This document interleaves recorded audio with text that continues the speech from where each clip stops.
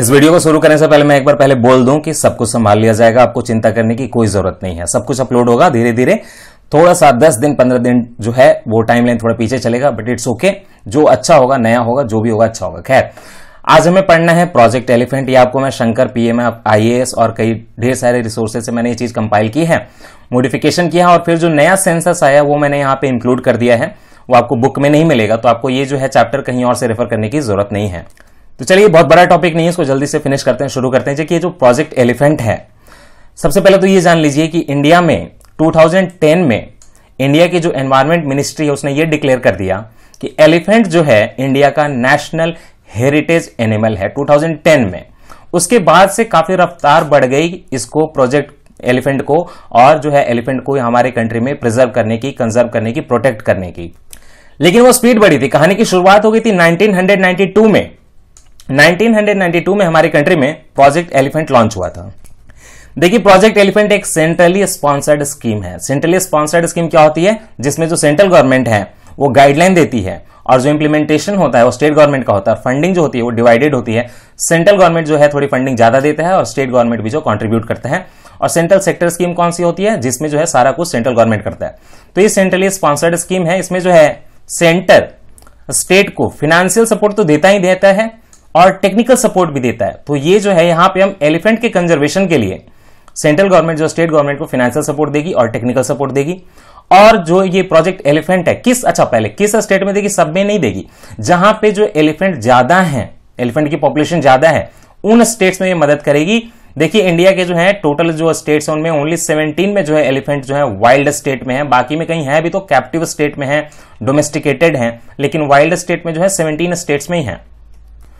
तो यहाँ जो मैंने आपको बोला कि मेजर एलिफेंट बेरिंग स्टेट्स में ये मदद देते हैं तो ऐसे जो हैं स्टेट जो रिसेंटली अपडेटेड डेटा आपको शंकर में शायद 16 मिलेगा दैट इज़ रॉन्ग 22 स्टेट्स में 22 स्टेट्स में जो है प्रोजेक्ट एलिफेंट चल रहा है।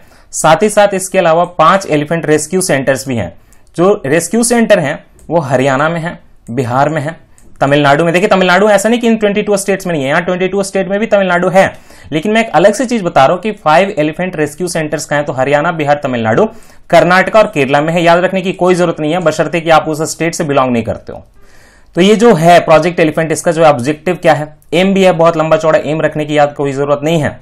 ऑब्जेक्टिव लेकिन याद रखना है। ऑब्जेक्टिव देखिए, इसके तीन है। मैंने सीधा ministry of environment forest and climate change से निकाला हुआ है। तीन ऑब्जेक्टिव है। पहला तो है प्रोटेक्शन प्रोटेक्शन किसना करना, किसका करना है? एलिफेंट का करना है, उसके हैबिटेट का करना है, उसके कॉरिडोर का करना है। कॉरिडोर क्या होता है? एक यहाँ पे हैबिटेट है, एक यहाँ पे हैबिटेट है। बीच का जो रास्ता है एलिफेंट का, वहाँ से माइग्रेट करने का, एक जगह से दूसरी जगह जाने का, उसको कॉरिडोर बोलते हैं। जैसे हमारा यूपीएससी, पीएससी कॉरिडोर है, क्योंकि आपको यूपीएससी की भी तैयारी कराता है और पीएससी की भी तैयारी कराता है।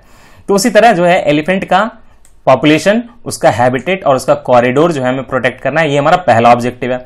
दूसरा आपको पता ही होगा कि आजकल जो है हैबिटेट डिस्ट्रक्शन के कारण मैन एनिमल कंफ्लिक्ट हो रहा है तो ह्यूमन एलिमेंट कंफ्लिक्ट जो है ह्यूमन एलिफेंट कंफ्लिक्ट जो है, उसको एड्रेस करना, उसके इश्यूज़ को कि क्यों हो रहा है और कैसे रोकना तीसरा जो ऑब्जेक्टिव है कि जो कुछ जगह पे डोमेस्टिकेटेड एलिफेंट्स हैं, आप खुद देख लो ना टेम्पल्स वगैरह में साउथ में कई जगह होते हैं तो डोमेस्टिकेटेड जो एनिमल है, उनको भी इंक्लूड किया है। ये तो वाइल्ड वाले के लिए होगा दो ऑब्जेक्टिव लास्ट ऑब्जेक्टिव जो है welfare of the domesticated elephant है। प्रेजेंट डेटा ये है, एकदम रिसेंट किसी बुक में नहीं मिलेगा। प्रोजेक्ट एलिफेंट जो है, उसमें जो है टोटल 13 एलिफेंट रिजर्व्स बनाए गए हैं। 32 सॉरी 13 नहीं 32 एलिफेंट रिजर्व्स बनाए गए हैं। ये लेटेस्ट डेटा है। नेक्स्ट क्वेश्चन ये उठता है कि सेंसस के बारे में क्या एलिफेंट का सेंसस कैसे करता है? आपको मैंने टाइगर का बताया था ना, हर फोर ईयर पे होता है। एलिफेंट का सेंसस हर फाइव ईयर पे होता है। तो देखिए आपको 2002 के बाद देखें 2007 में होता है। यहाँ पर शंकर में गलत लिखा हुआ है प्लीज़ मत देखिएगा। उन्होंने 2005 लिखा है 10 लिखा है सब गलत है। तो 2002, 2007, 2012, 2017 जो है आपका लेटेस्ट जो है सेंसस हुआ है। अब यहाँ ऐसा नहीं है कि 2002 से पहले सेंसस नहीं हुआ था लेकिन वो आपको याद नहीं रखना। मैं आपको याद रखने के लिए बता दे रहा हूँ। पाँच साल के इंटरवल पे होता है तो 2017 वाला जो है वो लेटेस्ट है। उसके जो डेटा है मैं लास्ट में आपको आगे पढ़ाऊँगा।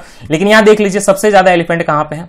कर्नाटक में है सिक्स उसके बाद असम में है और उसके बाद केरल में है। ये टॉप थ्री आपको जो जानने कर्नाटक तो खास करके जानना है कि कर्नाटका में सबसे ज़्यादा एलिफेंट है। केरल में नहीं, याद रखिएगा। तो जब टाइगर का सेंसस बताया था तो मैंने आपको तरह तरह की टेक्निक बताई थी। उनके पग मार्क और उनके जो है स्ट्राइप्स वगैरह की बात एम स्ट्राइप वगैरह पढ़ाया था। तो एलिफेंट का काउंटिंग कैसे करते हैं? देखिए एलिफेंट का काउंटिंग उतना टेक्निकल नहीं होता। एक टेक्निक होती है डायरेक्ट काउंटिंग में तो उसमें जो साइटिंग होती है कि एलिफेंट को हमने देखा है उसके हिसाब से, जो विलेजर्स वगैरह है, वो बताते हैं कि हमने साइट किया एलिफेंट को। इसमें बहुत एरर आता है। दूसरा ये है इनडायरेक्ट काउंटिंग मेथड उसमें क्या करते हैं, जो एलिफेंट का डंग होता है है ना? डंग जो होता है, जैसे गोबर होता है, गाय का, उसी तरह एलिफेंट का भी डंग होता है। उसमें जो है, उसकी एनालिसिस करते हैं और उसको स्टडी करके पता करते हैं कि एलिफेंट की पॉपुलेशन कितनी है। हर एलिफेंट के डंग की जो है प्रॉपर्टी अलग होगी तो उसी को केमिकल को एनालाइज करते हैं। दो तरीके हैं। अब ये जो प्रोजेक्ट एलिफेंट है, उसमें बस यही चीज़ें नहीं होती कि कंजर्वेशन करना है। कंजर्वेशन के लिए उनके कई रिसर्च और कंसल्टेंसी और ट्रेनिंग प्रोजेक्ट्स भी चलते हैं। रिसर्च भी चलता है। ये सारे रिसर्च जो है, मैंने शंकर से उठाए हुए ये पास्ट के हैं तो बहुत इंपॉर्टेंट तो नहीं लेकिन बता दूँ कि पहले इन्होंने कभी एक रिसर्च किया था, कटक का है सेंट्रल राइस रिसर्च इंस्टीट्यूट उसके साथ जो है प्रोजेक्ट एलिफेंट ने रिसर्च किया और वहाँ पे एक ऐसी राइस की वैरायटी डेवलप की, जो कि एलिफेंट जो है, उसको खाएगा ही नहीं। अगर एलिफेंट वो राइस की वैरायटी खाने नहीं आएगा, जो आपके एग्रीकल्चर में नहीं आएगा तो मैन एनिमल कंफ्लिक्ट बच जाएगा, नहीं होगा। ठीक है? दूसरा ऐसे स्टोरेज बिन भी बनवाए फ़ूड ग्रेन के, जो कि एलिफेंट है, उसको मतलब रिपेल हो एलिफेंट को, है ना? मतलब एक अनाज का दाना बनाया जिसमें जो है राइस वगैरह रखी है, ऐसे फ़ूड ग्रेन का बास्केट बनाया स्टोरेज बिन बनाया है, उस पर ऐसा केमिकल लगाया है कि एनिफल एलिफेंट जो है उससे रिपेल हो जा रहा है, खाने उसको आ ही नहीं रहा। तो ऐसे ऐसे रिसर्च कराती है। इसके अलावा असम एग्रीकल्चरल यूनिवर्सिटी जो है, उसके दो प्रोजेक्ट थे। एक तो करना था कि कैप्टिव एलिफेंट जो है, उनका डिज़ीज़ मैनेजमेंट कैसे करना है। दूसरा एशियन एलिफेंट जो है अच्छा एलिफेंट जो है, अफ्रीकन होता है और एशियन होता है। अफ्रीकन में दो स्पेसीज हैं, एशियन में एक ही स्पेसीज आगे पढ़ाऊँगा। तो एशियन जो एलिफेंट है, उसकी एनाटॉमिकल स्टडीज़ एनाटॉमिकल मतलब एलिफेंट को काट काट के उसकी पूरी बॉडी को समझना एनाटॉमी कहलाता है। टॉमी मतलब काटना होता है। फिर एक हमारे कंट्री में wild life institute of India है। ये ट्रस्ट है, मैं आगे पढ़ाऊँगा डोंट वरी मैंने आपको अच्छा wild life institute of India तो मैंने आपको ऑलरेडी पढ़ा दिया था, देहरादून वाला, पिछले वाले लेक्चर में। हाँ तो wild life institute of India हो चुका है। Wild life institute of India जो है, उसने यह स्टडी की थी कि अपना जो राजाजी नेशनल पार्क है उत्तराखंड में, वहाँ से जब गुज्जर को रिलोकेट किया तो उसका जो है इंपैक्ट एलिफेंट की पॉपुलेशन पे क्या पड़ा, नहीं पड़ा यह स्टडी भी जो है प्रोजेक्ट एलिफेंट के अंदर की गई थी। फिर जो अपना कोलकाता का इंडियन स्टैटिस्टिकल इंस्टीट्यूट है, उसने ये छोटे लेवल की एक स्टडी की थी कंसल्टेंसी की थी, उसमें जो है उन्होंने वेस्ट बंगाल के फॉरेस्ट डिपार्टमेंट को हेल्प किया था कि आप सैंपल बेस्ड एनुमरेशन, वही डंग वाला जो है एनुमरेशन एनुमरेशन मतलब काउंटिंग, कैसे कर सकते हो एलिफेंट की? ये 2007 वाले जो सेंसस हुआ था, उसमें किया गया था। ये भी प्रोजेक्ट एलिफेंट के अंदर किया गया था। साथ ही साथ प्रोजेक्ट एलिफेंट जो है, जो जानवरों के लिए, जो वेटनरी डॉक्टर होते हैं, उनके लिए ट्रेनिंग वगैरह देना और डोमेस्टिकेटेड और वाइल्ड दोनों को कैसे ट्रीट करें, ये सब भी सिखाता है। तो चलिए थोड़ा अपने एलिफेंट के बारे में पढ़ लेते हैं। एलिफेंट रिज़र्व के अंदर ही पढ़ लेते हैं। आपका जो एलिफेंट है, इंडियन एलिफेंट, उसका जो साइंटिफिक नाम है, आपको याद रखना है, एलिफेस मैक्सिमस होता है। एलिफेस मैक्सिमम, मैक्सिमस होता है। और ये कहा होता है आपके इंडिया के, वेस्टर्न घाट का जो सेंट्रल और साउदर्न एरिया है, वहाँ पे होता है। मतलब वेस्टर्न घाट ये हो गया। इसका जो सेंट्रल एरिया और साउदर्न एरिया, ये तो देखो ना, केरला, कर्नाटक, तमिलनाडु वाला एरिया। उसके बाद नॉर्थ ईस्ट इंडिया में जो आपके नॉर्थ ईस्ट इंडिया बन रहा है यहाँ पे, नॉर्थ ईस्ट इंडिया जो बन रहा है तो यहाँ पे एरिया में है। दो हो गए। फिर आपके नॉर्दर्न एरिया में, देखिए नॉर्दर्न इंडिया में कहाँ पे होगा, आप खुद सोच लीजिए, उत्तराखंड का एरिया, है ना? ये हो गया। और फिर लास्ट में साउदर्न पेनिनसुला में भी। साउदर्न पेनिनसुला मतलब महाराष्ट्र वगैरह वाला एरिया में भी थोड़ा, ठीक है? स्टेटस क्या है आपको? अब जो है, मैं कोई भी एनिमल पढ़ाऊँगा आपको तो उसकी दो स्टेटस पढ़ाऊँगा। एक तो मैं पढ़ाऊँगा वाइल्ड लाइफ प्रोटेक्शन एक्ट मैंने आपको डिटेल में पढ़ा दिया। 1972 में तो उसमें कौन से जगह पे है? ये स्केड्यूल वन में है। आप इसको जो है वर्मिन में शिफ्ट नहीं कर सकते। वर्मिन में पिछले लेक्चर में सुधार कर लीजिएगा। मैंने ये बोला था कि पार्ट वन और जो स्केड्यूल वन जो है स्केड्यूल टू जो है, उनको शिफ्ट नहीं कर सकते। वर्मिन में एक्चुअली स्केड्यूल वन वाले को तो शिफ्ट नहीं कर सकते वो बात सही थी। लेकिन स्केड्यूल टू में पार्ट टू को छोड़ के बाकी को आप शिफ्ट कर सकते हो। इसीलिए जो रेसस मंकी है वो स्केड्यूल टू में तो है लेकिन पार्ट टू में नहीं है पार्ट ए में है इसीलिए उसको शिफ्ट करके वर्मिन डिक्लेयर किया गया था। एनीवे anyway, एलिफेंट जो है स्केड्यूल वन में है आपके वाइल्ड लाइफ प्रोटेक्शन एक्ट में।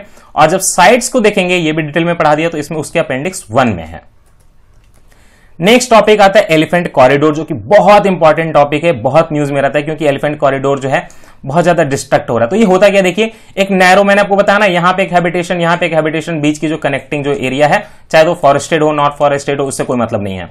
A stretch or narrow strip of forested or otherwise even not forested land that connects large habitats with elephant populations and forms a conduit for animal movement between the habitat ये habitat और वो habitat के बीच में animal movement movement होगी तो reproduction होगा. हो सकता है यहाँ पे मेल हो, यहाँ पे फीमेल हो. मिलेंगे तब तो पॉपुलेशन बढ़ेगी.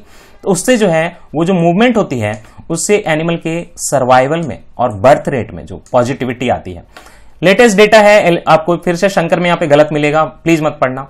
अभी जो एलिफेंट कॉरिडोर है हमारे कंट्री में 101 जो है आइडेंटिफाई किए गए। इसके अलावा और भी यूज़ होते होंगे, लेकिन वो एलिफेंट की मर्ज़ी है। गवर्नमेंट ने 101 रिकॉग्नाइज किया है।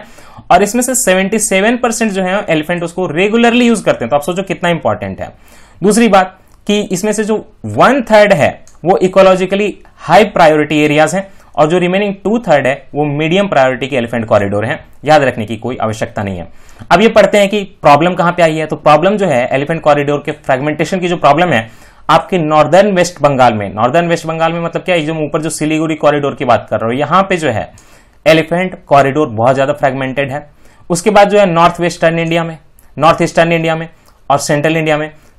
साउथ इंडिया में कंडीशन सबसे सही है, वहाँ पे लीस्ट फ्रेगमेंटेशन इसीलिए तो कर्नाटका, केरला में जो है एलिफेंट की इतनी अच्छी पॉपुलेशन है। साउथ इंडिया में एक और खास बात है 65 परसेंट जो एलिफेंट कॉरिडोर है, वो प्रोटेक्टेड एरिया या रिज़र्व फॉरेस्ट में है। तो प्रोटेक्टेड एरिया और रिज़र्व फॉरेस्ट में है तो प्रोटेक्टेड है फ्रेगमेंटेशन नहीं हो रहा।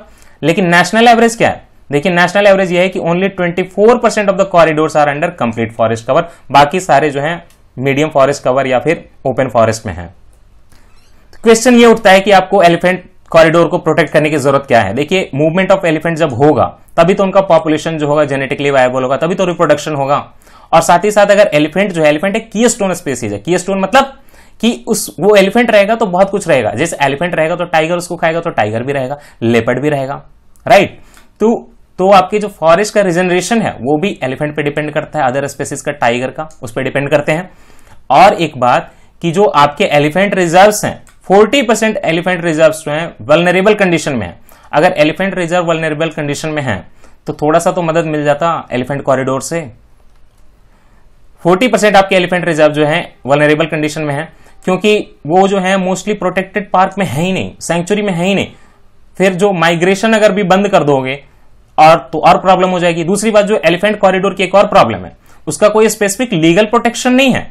हालाँकि अभी जो है गवर्नमेंट ने ये बोला सेंट्रल गवर्नमेंट के कि सेंट्रल गवर्नमेंट ने स्टेट को कि आप जो है एलिफेंट कॉरिडोर को डिक्लेयर करिए। तो आप एक काम करिए एनवायरमेंट प्रोटेक्शन एक्ट के अंतर्गत डिक्लेयर करिए या वाइल्ड लाइफ प्रोटेक्शन एक्ट के अंतर्गत जो है उसको डिक्लेयर करिए नोटिफाई करिए ताकि थोड़ा उसको लीगल प्रोटेक्शन मिलेगा। अदरवाइज़ एलिफेंट कॉरिडोर को कोई लीगल प्रोटेक्शन नहीं होता, ये सबसे बड़ी प्रॉब्लम है। नेक्स्ट ये थी चीज़ है कि जो फॉरेस्ट है उसको कई जो है फार्मलैंड में कन्वर्ट कर दिया गया है। अनचेक्ड टूरिज़्म हो रहा है तो एनिमल का तो पाथ तो पूरा ब्लॉक हो गया। एनिमल मैन कंफ्लिक्ट होने लगा। ये देखिए increase animal elephant human conflict next ये कि आप जो है गवर्नमेंट तो पैसे कमाना चाह रही है इको टूरिज़्म करवा रही है, लेकिन वो अनचेक्ड है अनरेगुलेटेड है पॉल्यूट करते हैं लोग हैबिटेट डिस्ट्रॉय करते हैं। तो एनिमल का जो होम रेंज है, खास करके एलिफेंट का, वो तो पूरा डिस्ट्रॉय हो जाता है। तो यहीं पे जो है, आपको जो है एक रिसेंट 2018 के 17 की न्यूज़ है, वो पढ़ लेनी चाहिए। एक एशियन एलिफेंट अलायंस बना है। इसमें पाँच एनजीओ है। देखिए, गवर्नमेंट नहीं है फाइव एनजीओ हैं, उन्होंने मिलकर कसम खाई कि जो इंडिया में 101 जो एग्जिस्टिंग कॉरिडोर हैं, उनमें से जो है 96 को तो कम से कम सिक्योर कर ही देंगे ऑलमोस्ट 12 स्टेट्स में।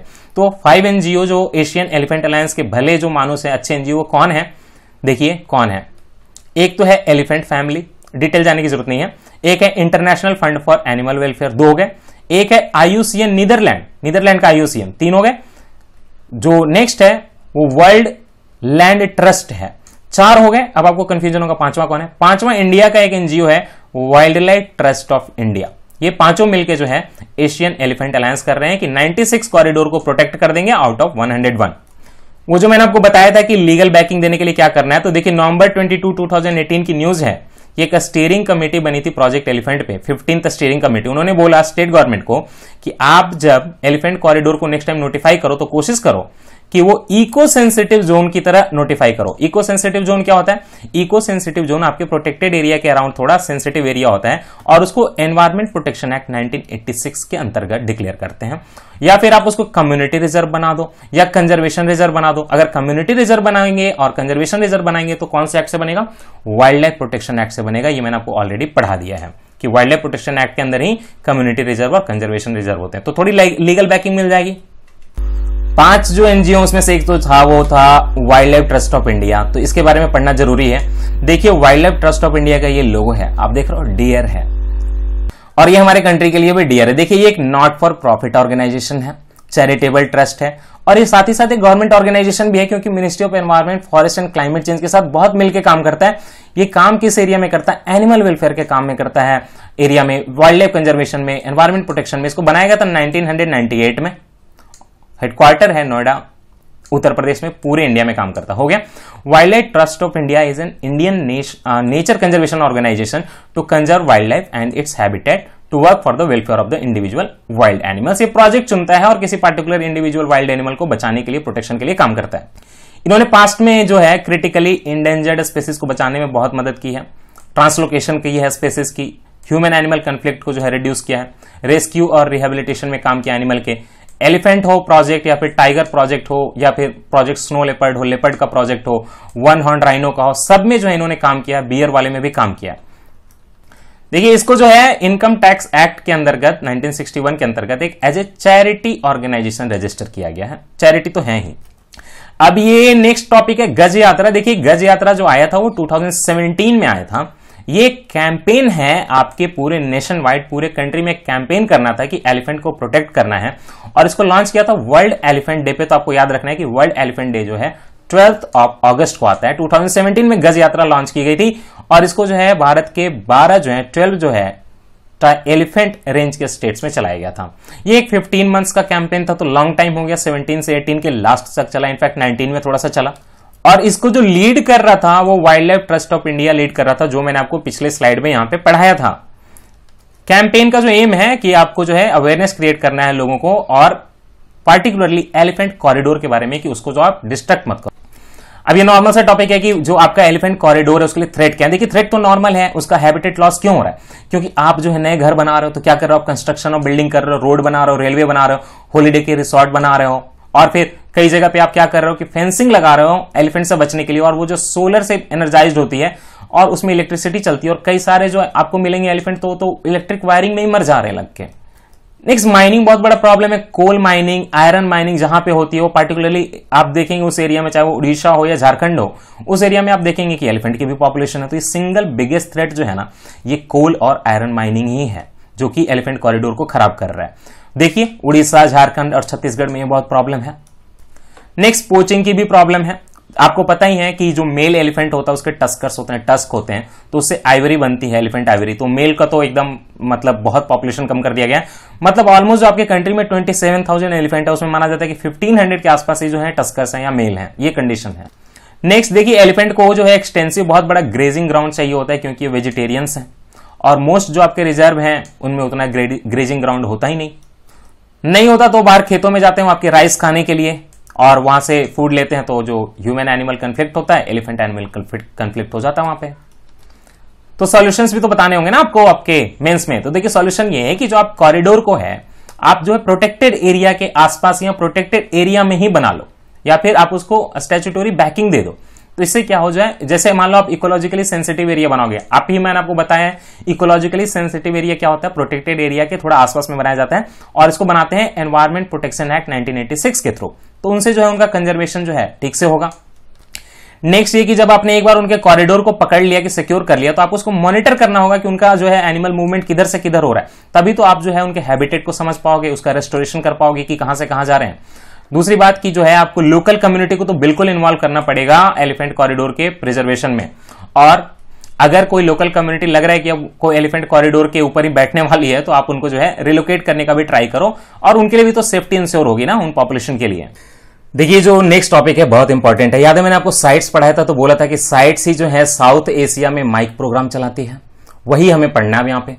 Monitoring of illegal killing of elephants MIKE monitoring of illegal killing of elephants programme जो है, ये जो साइट्स है, इसका कॉन्फ्रेंस ऑफ़ पार्टी हुआ था उससे एक रिजोल्यूशन आया था। और वहाँ पे उन्होंने ये बोला था कि साउथ एशिया में जो है पार्टिकुलरली जो एशियन एलिफेंट है, उसके प्रोटेक्शन के लिए 2003 में इनकी ये मीटिंग हुई थी और 2004 से जो प्रोग्राम लॉन्च हुआ था, उसी को बोलते हैं माइक प्रोग्राम देखिए, करना क्या था? जो इसके पार्टिसिपेटिंग जो आपके, जो साउथ एशिया की जो कंट्रीज़ हैं, उनको जो है एलिफेंट रेंज स्टेट बोल रहे हैं। स्टेट मतलब आपका स्टेट नहीं, ये नेशन की बात हो रही है। वहाँ पे उनको क्या देना था? उनको एक ऐसी इंफॉर्मेशन प्रोवाइड करनी थी ताकि वो जो एलिफेंट का है मैनेजमेंट और उनके जो डिसीज़न होंगे, वो सही से डिसीज़न लें और उनकी जो है इंस्टीट्यूशनल कैपेसिटी बढ़े नेशनल कैपेसिटी बढ़े और वो जो है लॉन्ग टर्म मैनेजमेंट कर पाए एलिफेंट की पॉपुलेशन का वायबल पॉपुलेशन जो है एलिफेंट की प्रोटेक्टर रहे। तो वही उसी के हिसाब से उसका मेन ऑब्जेक्टिव भी था। क्या करना है? Measure measure to measure level and trends in the illegal hunting of elephants नाम में ही है। इलीगल किलिंग ऑफ़ एलिफेंट्स की मॉनिटरिंग करनी है तो इलीगल हंटिंग जो हो रही है एलिफेंट की, उसको देखना पड़ेगा। To determine changes in this trends over time change क्या हो रहा है? पॉपुलेशन घट रही है कि बढ़ रही है? एलिफेंट का एक बड़ा प्रॉब्लम है। एलिफेंट की पॉपुलेशन नहीं घट रही। एलिफेंट का हैबिटेट डिस्ट्रक्ट हो रहा है। टाइगर की पॉपुलेशन आ गई थी, एकदम एक्सटेंशन होने लगा था। वो नहीं हो रहा ट्वेंटी सेवन थाउज़ेंड है स्टेबल बने हुए बट जो कॉरिडोर है, जो हैबिटेट है, इतना डिस्ट्रक्ट हो रहा है कि कब को वो आ जाएँगे कंडीशन में, ऐसी बुरी कुछ नहीं पता है। अच्छा यहाँ पे मैंने लिखा नहीं, आप याद रख लीजिए कि एशियन एलिफेंट को जो आयुसीन के स्टेटस में जो रेड लिस्ट होती है, उसमें इंडेंजर्ड का जो है स्टेटस मिला हुआ है। तो चेंज देखना है ट्रेंड जो है उनका इलीगल किलिंग कैसे हो रहा है, उसके ट्रेंड को समझना और next to determine the factors causing और एसोसिएटेड विद सच चेंजेस जो चेंजेस हो रहे हैं, जो ट्रेंड हो रहा है उनके हंटिंग में, जो चेंज आ रहा है उसके ट्रेंड में तो उसको जो है समझने की बात है कि क्यों हो रहा है ये।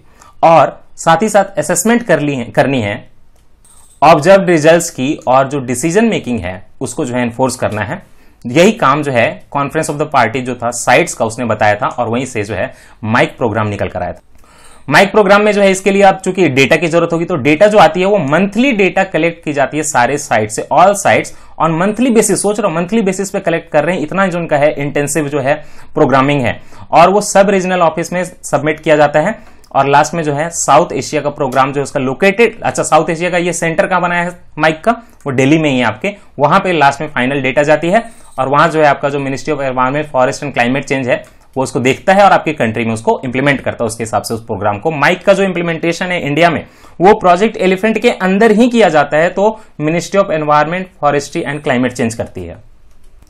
तो वही बता रहे हैं कि साइट्स का जो रिजोल्यूशन हुआ था वो तो हुआ था 2003 में, लेकिन जो माइक आया प्रोग्राम हुआ है 2004 में, और एक बात कि प्रोजेक्ट एलिफेंट जो है प्रोजेक्ट एलिफेंट जो है आपकी कंट्री में, वही जो है, ये देखिए प्रोजेक्ट एलिफेंट जो है फॉर्मली आपकी कंट्री में माइक प्रोग्राम को चला रहा है monitoring of illegal killing of elephants इसमें जो माइक प्रोग्राम में आपके सारे टाइगर के जो है रिज़र्व नहीं चुने गए जो सॉरी एलिफेंट रिज़र्व मैं अगर कहीं कहीं टाइगर बोल रहा हूँ तो आई मीन सॉरी बहुत एक घंटे का लेक्चर था एक्चुअली वो तो टाइगर की आदत पड़ गई है। तो एलिफेंट रिज़र्व जो आपके कंट्री में से टेन चुने गए एलिफेंट रिज़र्व जिनको माइक प्रोग्राम के अंदर डाला गया है। तो ऐसे याद रखने की ज़रूरत नहीं है, लेकिन उत्तरांचल में शिवालिक, वेस्ट बंगाल में उत्तर जो ईस्टर्न दुआर्स हैं दुआर है ना, हिमालय के जो फूट हिल्स हैं तो वहाँ पे ईस्टर्न दुआर्स उड़ीसा का मयूरभंज, और असम में दो लोकेशन है। एक तो है रिपू चिरांग और दूसरा है देहिंग पटकी। गारो हिल्स, मेघालय में गारो खासी जानते जानते हो जानते हो ना तो वहाँ पे गारो हिल्स में। और फिर अरुणाचल प्रदेश में देवमाली। और ये केरला में वायानेड है, सबको पता है, कर्नाटका में मैसूर है, सबको पता है, और तमिलनाडु में नीलगिरी है, सबको पता है। ये टेन लोकेशन जो है, माइक साइट में आती हैं। साउथ एशिया में, जो इंडिया में है, उसमें टेन लोकेशन नेक्स्ट प्रोग्राम है, हाथी मेरा साथी। नाम से ही पता चल रहा है कि अवेयरनेस कैंपेन होगा। तो इसको लॉन्च किया था ministry of environment forest and climate change ने, और पार्टनरशिप की थी किसके साथ? Wild life trust of India वही जो ट्रस्ट है, मैं इनकम टैक्स वाला जो आपको पढ़ाया, वही वाला ट्रस्ट इसीलिए मैंने अलग से उसको पढ़ा दिया, आपको मिलेगा नहीं। तो wild life trust of India के साथ मिनिस्ट्री ने आपके लॉन्च किया था, हाथी मेरे साथी। एम जो वही है कि आपको कंजर्वेशन करना है, आपके जो है नेशनल हेरिटेज एनिमल मतलब टाइगर का। लेकिन ये जो आया था वो बहुत इंपॉर्टेंट ये कैंपेन को लॉन्च किया गया था एलिफेंट एट मिनिस्टेरियल मीटिंग से, जो कि आपके न्यू दिल्ली में 2011 में हुई थी। तो ये एलिफेंट एट क्या है? इसमें एट कंट्री हैं। इसमें एट कंट्री हैं। और वो एट कंट्री कौन कौन से? देखिए India Botswana Republic of Congo Indonesia Kenya Sri Lanka Tanzania Thailand आपको देख के यहाँ पे समझ में आ जाना चाहिए कि यहाँ पे अफ्रीकन केन्या है ना? तो अफ्रीकन जो है एलिफेंट वो भी इंक्लूडेड है। और जो एशियन एलिफेंट है, वो भी इंक्लूडेड है। और ऐसे एट कंट्रीज़ है जिन्होंने मिलकर जो है एलिफेंट एट नाम का जो है मिनिस्टेरियल कॉन्फ्रेंस करवाया था न्यू दिल्ली में। वहीं से हाथी मेरा साथी जो है इंडिया में लॉन्च किया गया था। इसमें लोगों के बीच में अवेयरनेस की जाएगी, जो है, जो एलिफेंट के साथ जो है फ्रेंडशिप करवाई जाएगी। फ्रेंडशिप मतलब साथ में रहना, जुड़ना कि मतलब दोनों एक दूसरे को हर्ट ना करो। और एक कॉम्पेनियनशिप भी होती है कि एलिफेंट रहेगा तो की स्टोन स्पेसिस है फॉरेस्ट रहेगा। और जो है, लोग रहेंगे तो एलिफेंट रहेगा। ऐसी एक चीज़ जो है डेवलप करने की बात की गई। इसका जो कैंपेन का मैस्कट था, वो शंकर ने ध्यान से बताया तो आप भी याद रख लीजिए, गजू नाम था उसका। थोड़ी डिटेलिंग है, बोरिंग सी है कि जो कैंपेन है, उसमें जो है टारगेट ऑडियंस जो है कौन कौन से लोकल्स हैं जो कि एलिफेंट हैबिटेट के पास में यूथ हैं। आप कई बार देखेंगे इसके लिए झंडे जो है बैनर जो है यूथ निकाल के स्कूल वगैरह में चलते थे। पॉलिसी मेकर्स भी हैं, बाकी भी कई लोग हैं। इसका थीम क्या था कि गजा गजा मतलब एलिफेंट। उसको साथ में किसके लाना है? प्रजा। प्रजा मतलब लोग। तो गजा और प्रजा के बीच में जो है, तालमेल बना के रखना, इसी का ये थीम था, हाथी मेरा साथी। नाम में ही है हाथी मेरा साथी। इतने पे नहीं रुकेंगे जो आपका प्रोटेक्शन और लॉ एनफोर्समेंट की एजेंसीज है, उनकी कैपेसिटी भी बिल्ड करनी होगी। वो भी है ग्राउंड लेवल पे, तभी तो प्रोटेक्शन होगा। और जो है पॉलिसी भी एडवोकेट करनी पड़ेगी, वकालत करनी पड़ेगी, जो कि पैचेड डर पैचेड मतलब क्या होता है? पैचेज होते हैं ना, एलिफेंट के, लटके लटका सा शरीर होता है, डर मतलब स्किन होती है तो पैचे डर का एलिफेंट के प्रोटेक्शन के लिए पॉलिसीज़ का जो है एडवोकेसी भी करेंगे हाथी मेरा साथी में। वही देखिए है take gaja the elephant to the praja to the people यही है एलिफेंट। और ये जो आया था आया था रिकमेंडेशन से एलिफेंट टास्क फोर्स के। तो एलिफेंट टास्क फोर्स अगर कोई पूछ दे तो कहाँ होता है? देखिए एनवायरमेंट मिनिस्ट्री के अंदर होता है एलिफेंट टास्क फोर्स मैंने आपको पहले ही बताया था कि टाइगर जो है, उसकी बात करें तो एक्सटेंशन फेस कर रहा है, लेकिन जो एलिफेंट है, वो एट्रिशन फेस कर रहा है, समझ रहे हो? बट रहा है वो कॉरिडोर खराब होने तो एट्रिशन फेस कर रहा है यहाँ से वहाँ। तो जब रिप्रोडक्शन नहीं होगी तो वो तो ऐसे ही खत्म हो जाएगा। ऐसा नहीं कि एलिफेंट के नंबर बहुत ड्रेस्टिकली डिक्रीज हो गए ट्वेंटी सेवन थाउज़ेंड के अराउंड बच्चे ही हुई है। लेकिन जो है, उनका हैबिटेट उनका कॉरिडोर उनका कंजर्वेशन में प्रॉब्लम चल रहा है। सबसे बड़ी प्रॉब्लम यह है कि एशियन एलिफेंट में आप डिग्रेडेशन देखोगे तो उनके आइवरी प्रोडक्ट और पोचिंग के लिए मतलब आइवरी प्रोडक्ट के लिए उनकी पोचिंग बहुत हो रही है। जो इंडिया में जो आपके इतने सारे एलिफेंट्स हैं उसमें माना जाता है कि 25,000 एलिफेंट्स एलिफेंट्स जो हैं अभी तो 27,000 हो गए। उसमें से टस्कर्स जो हैं मेल जो एलिफेंट है ओनली 1200 बचे हुए हैं। इमेजिन करो बैटरी और एक बात की, जो वर्ल्ड के एशियन एलिफेंट की पॉपुलेशन है, उसमें इंडिया का जो है 50 परसेंट इंडिया में ही है। अच्छा आपको जानकारी के लिए बता दूँ कि जो अफ्रीकन एलिफेंट होते हैं, उनका साइज़ काफ़ी बड़ा होता है एशियन एलिफेंट से। अफ्रीकन एलिफेंट का जो कान होते हैं, वो खड़े होते हैं। एलिफेंट जो हमारी कंट्री के उनके कान जो होते हैं लटके होते हैं। साइज़ भी छोटा होता है, ये फ़र्क है। तो वही जो है एलिफेंट एट मिनिस्टेरियल मीटिंग जो टू में, उसके बारे में पढ़ लीजिए। कि जो एलिफेंट एट की जो मिनिस्टेरियल मीटिंग हुई थी, उसमें तीन रीजन रिप्रेजेंटेड थे। मैंने आपको बताया ना, अफ्रीका के भी लोग थे। और उसमें तीन स्पेसीज की बात हुई थी। एक तो देखिए आपका इंडिया वाला एशियन एलिफेंट उसको बोलते हैं एलिफस मैक्सिमस बताया हुआ है। अफ्रीका के दो स्पेसीज मैंने आपको बताए थे। एक होता है अफ्रीकन बुश एलिफेंट और दूसरा होता है अफ्रीकन फॉरेस्ट एलिफेंट ये दोनों के जो है लॉक्जोडोंटा अफ्रीकाना एंड लॉक्जोडोंटा साइक्लोटिस नाम कोई ज़रूरत नहीं याद रखने की। इसमें बस गवर्नमेंट नहीं थी पॉलिसी मेकर्स थे कंजर्वेशनिस्ट थे साइंटिस्ट थे हिस्टोरियन जो भी थे, वो भी थे। आर्ट एंड कल्चर एक्सपर्ट भी थे, क्योंकि एलिफेंट का आर्ट एंड कल्चर से भी बहुत बड़ा रिलेशन है, राजा लोगों की चीज़ है ना? और मंदिरों वगैरह में भी कई बार यूज़ होता है एलिफेंट ये सारे लोग इसमें जो है, आए थे, उन्होंने डिस्कशन किया था, और उन्होंने वहाँ से तीन बेसिक थीम निकाले थे। एक तो साइंस एंड कंजर्वेशन लेके चलना है साथ मैनेजमेंट और कंजर्वेशन साथ लेके चलना है, और कल्चरल और एथिकल परस्पेक्टिव भी कंजर्वेशन के साथ जोड़ना है। ई एट कंट्रीज़ ने जो है नेसेसरी स्टेप तो लेने की बात की ही एलिफेंट के कंजर्वेशन के लिए। साथ ही साथ उन्होंने बोला कि कॉमन एजेंडा लेके चलें कि जो लॉन्ग टर्म वेलफेयर हो एलिफेंट का और जो सर्वाइवल हो, वो इंश्योर करें इन रेंज कंट्रीज़ में मतलब ई एट रेंज कंट्री में। ई एट रेंज कंट्री तो मैंने आपको पहले ही बता दिया तो फिर से बताने की कोई ज़रूरत नहीं है। वही जो ई एट की मीटिंग हुई थी, वहाँ पे उन्होंने एक ग्लोबल गोल बनाया मीटिंग के बाद और बोला कि सब हाथ मिलके एलिफेंट 50 50 फोरम चलाते हैं। एलिफेंट 50 50 का मतलब क्या है? देखिए, इसमें जो है shared vision of 50 states. 50 countries जो है मिलकर क्या करेंगे? कंजर्वेशन मैनेजमेंट और वेलफेयर करेंगे एलिफेंट का कितने साल के लिए? 50 साल के लिए। तो 50 स्टेट्स फॉर 50 इयर्स 50 50 फोरम जो है, एलिफेंट ई एट जो है, मिनिस्टेरियल मीटिंग से ही निकल के आई थी 2011 में। तो वही है यहाँ पे E fifty fifty forum E eight countries decided to hold the first international congress of E fifty fifty forum कब बोलेंगे?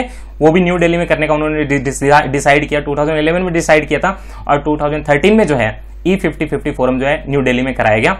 और एक कॉमन ग्लोबल गोल बनाया गया कि कंजर्वेशन मैनेजमेंट और वेलफेयर करें एलिफेंट का।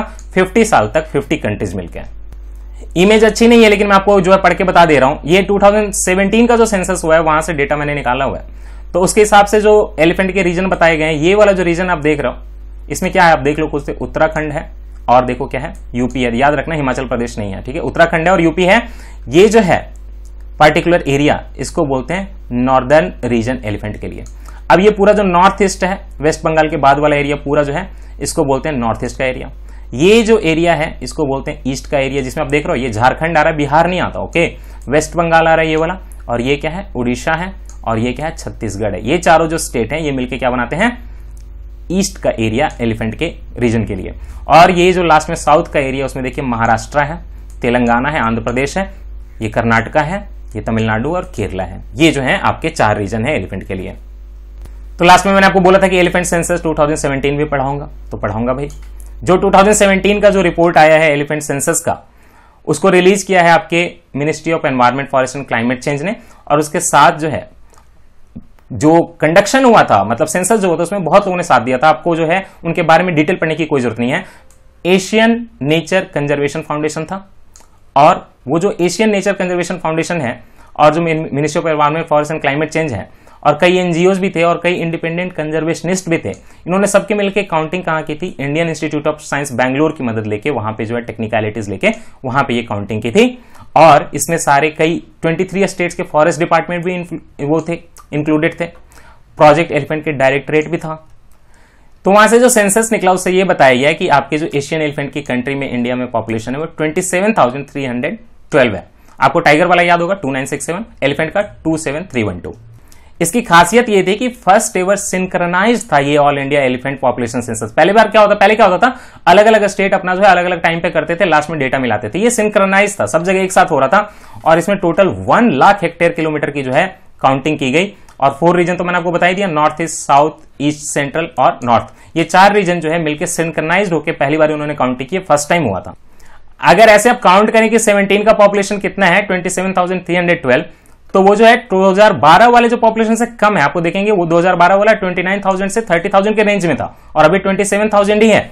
लेकिन यहाँ पे आप निराश मत होइए फिर भी पॉपुलेशन बड़ी मानी जा रही है क्योंकि पहले वाला जो काउंटिंग होता था वो सही नहीं था और उसमें कई सारा एरर आता था तो जो था जो ओवर एस्टिमेशन था। तो एक्चुअली पॉपुलेशन बड़ी है, आप इतना याद रखिए। कर्नाटका में मैंने आपको बताया हाईएस्ट नंबर है एलिफेंट की, कितनी है? सिक्स उसके बाद असम में, उसके बाद केरल में है। प्रीलिमिनरी जो डेटा आया था, वो site based direct count method से आया था। जो लास्ट में जो फाइनल काउंटिंग की जाएगी, जो डिटरमाइन किया जाएगा, जो टैली किया जाएगा, वो डंग काउंट मेथड से किया जाएगा इन थ्री मंथ्स ये बताया गया साथ में। सेवनटीन का हालाँकि ये न्यूज़ है। तो ये मैंने आपको बताई था ना, दो टेक्निक है उनको काउंट करने की। तो पहले साइट सिंग से एक डेटा ले लिया, फिर जो है डंग वाला जो है एनालिसिस करके निकालेंगे। तो यहाँ पे मैंने आपको ये बताया कि जो काउंटिंग चल रही थी तो उसमें एक था एशियन नेचर कंजर्वेशन फाउंडेशन जिसने एनवायरमेंट मिनिस्ट्री को मदद दी है। तो ये क्या है? देखिए एशियन नेचर कंजर्वेशन फाउंडेशन जो एक एनजीओ है not for profit public charitable trust है, और ये जो है पार्टिकुलरली एशियन एलिफेंट के कंजर्वेशन में ही काम करता है। और जो है कि उसका ये मानना है कि एशियन जो एलिफेंट है, वो की स्टोन स्पेसीज है, जिसके हिसाब से जो है पूरी जो है इकोसिस्टम चलती है, और एक रिच फॉरेस्ट को साउथ एशिया और साउथ ईस्ट एशिया में सपोर्ट करता है। इतना ही था प्रोजेक्ट एलिफेंट हो गया, और बाकी फिर से बोल दे रहा हूँ, आप निराश मत होइए। सारे पीटी 365 जो है ड्यूली अपलोड होंगे। नए वाले भी बनेंगे, पुराने वाले भी आएँगे, और आप जो है, नए वाले देखते रहिए, वहाँ आपका टाइम कटेगा, पुराना वाला बीच बीच में डाल दिया जाएगा, और जो है 10-15 दिन के डिले से वो भी कंप्लीट हो जाएगा। सब कुछ को हम लोग रिस्पेक्ट करेंगे एथिक्स को और प्रिपरेशन को, तभी तो हम एक अच्छे इंसान कहलाएँगे ना आगे। फिर क्या जवाब देंगे अदरवाइज़ हो गई गलती तो कोई बात नहीं। हमसे तो बड़ी गलती हुई भी नहीं थी बट ठीक है। मानना चाहिए ना चीज़ों को। चलो बाय बाय